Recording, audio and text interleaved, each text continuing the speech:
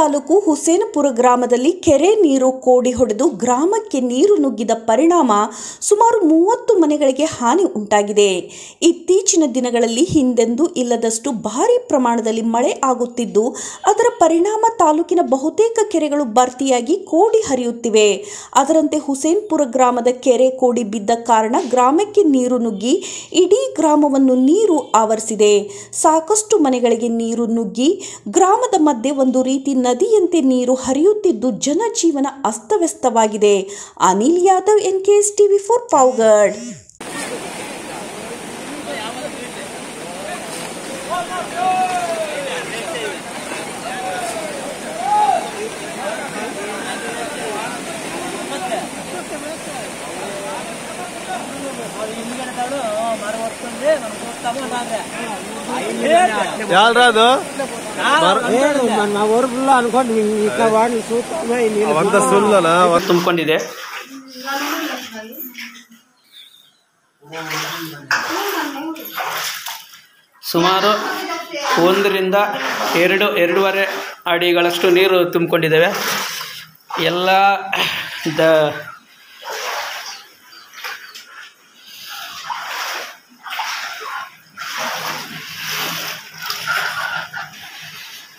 ಈ ರೂಮಲ್ಲಂತೂ ಸಿಕ್ಕಾಪಟ್ಟೆ ನೋಡಿ, ಮೂಟೆಗಳೆಲ್ಲ ನೆಂದೋಗ್ಬಿಟ್ಟಿದ್ದಾವೆ ಅಕ್ಕಿ ಮೂಟೆ, ರಾಗಿದು. ಕೆರೆ ಕೆರೆ ಕೋಡೆ ಬಿದ್ದು ಈ ಕಡೆಯಿಂದ ನೀರು ಬಂದಿರೋದು.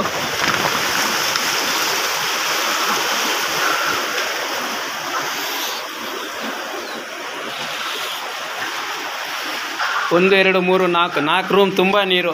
ಎರಡು ಅಡಿ ಮೇಲೆ ನೀರಿದ್ದಾವೆ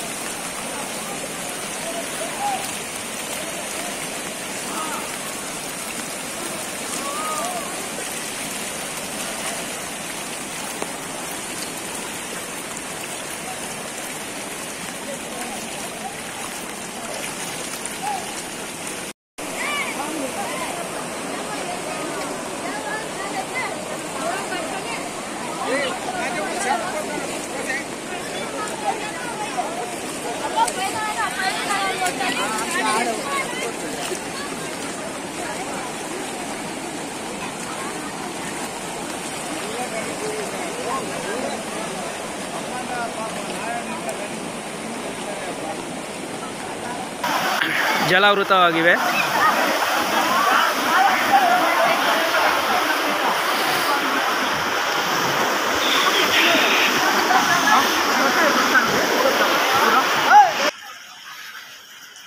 ಈ ಮನೆಯಿಂದ ಪೂರ್ತಿ ಮೂರು ರೂಮ್ ನಾಲ್ಕು ನಾಲ್ಕು ರೂಮ್ಗಳಿದ್ದಾವೆ ನಾಲ್ಕು ರೂಮ್ ತುಂಬ ಸಹ ಫುಲ್ ನೀರು.